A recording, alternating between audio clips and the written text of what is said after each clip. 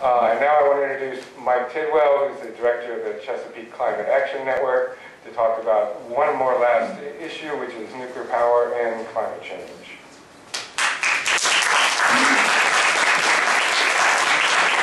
Thank you, Michael. Thanks, everybody, for coming out. Uh, I really appreciate all the hard work Allison Fisher's done, and Johanna Newman, Mary Park. This is really great. Uh, it, it, thank God, you know, finally Constellation Power and the Maryland Chamber of Commerce are agreeing that global warming is something that needs a solution.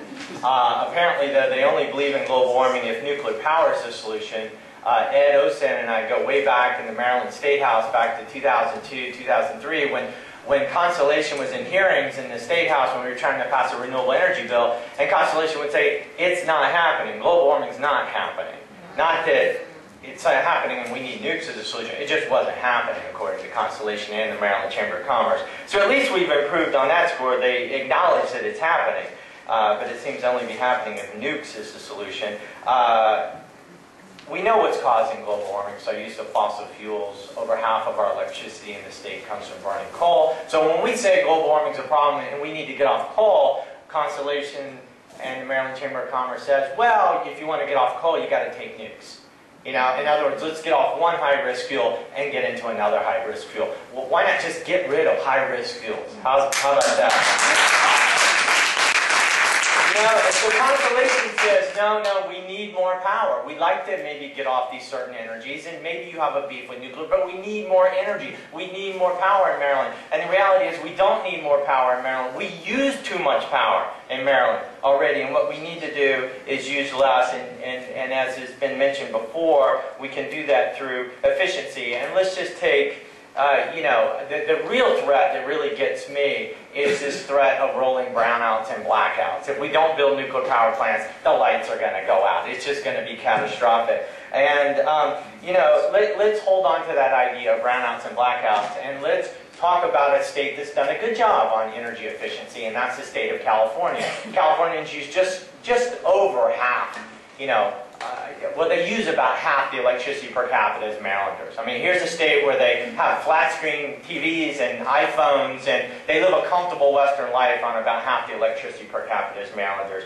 through because of policies, because of state policies that have encouraged efficiency, going back to the 1970s, strict building codes, energy efficient appliances, etc. And lo and behold, you know, 30 years later, they use half the electricity per capita as Marylanders do. 12% of the U.S. population lives in California, seventh largest economy in the world. Record goods and services year after year, half the electricity per capita. Obviously, we can do better in Maryland. Obviously, if we made up our minds and just adopted seriously the policies already in place in California, we could begin to cut our grid in half. Then we don't need any more high-risk energy. And let's talk about blackouts and brownouts. Let's go back to California again as an example. California, threats of blackouts and brownouts in 2001 because of the energy crisis. We now know that had nothing to do with California's public policies, had everything to do with Enron and, you guys remember this? Constellation speculating on energy on the West Coast and, and creating artificially this this crisis. So there was a real threat of brownouts and blackouts in California in 2001,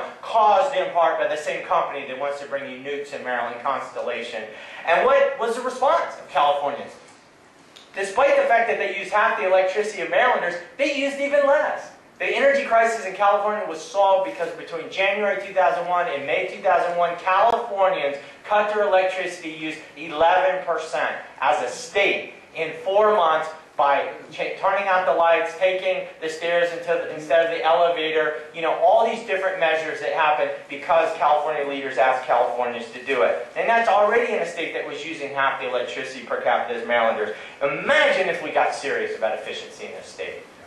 We wouldn't have to be talking about nuclear power. I want to briefly tell you a story, again, going back to the early 2000s, when I formed Chesapeake Climate Action Network in 2002, one of our biggest goals was to pass a renewable energy standard, a so-called um, RPS, Renewable Portfolio Standard. And I and Ed Osan and Dr. Cindy Parker and others of us in this room were fighting for that for that standard. And, and we finally won, but in 2003 we lost. We finally won in 2004. And Constellation Energy was the main reason we lost. And they were fighting this bill tooth and nail. Don't make us get into renewables. Don't set a standard for renewable energy. And I remember having a meeting. I remember having a meeting with Paul O'Neill, the senior vice president of Constellation, right here in Baltimore in their fancy office, couple blocks from here, overlooking the energy the, uh, the inner, inner harbor. And if you've ever been to Constellation, they have this huge energy trading floor, and it's a really, really fancy, huge outfit. And I was in there, and I asked Paul uh, O'Neill, why are you fighting this bill? Why are you fighting a renewable, a modest renewable energy standard in Maryland? And I asked him point blank in a private conversation, can't you make money off renewable energy? And his answer was yes. We can. We can make money off renewable energy, true renewable energy. We were talking about solar, wind, etc. And I said, well, then why are you fighting a push to, for renewable energy in Maryland? And his response in a set, in a moment, an unguarded moment, was the following. He told me, and I know he regrets it because I've repeated it ever since. Paul O'Neill told me the reason we're opposing this renewable energy standard is because we can't make as much money on renewables as you can on coal and nukes. And that's what this is all about. They want to build a nuke plant not because we need it, not because we got to have it, and not because of global warming, because they can make more money this way than doing the right thing, thing through efficiency and renewable. And it's our job to band together and let the right thing happen and not the Calvert Cliffs plant. Thank you.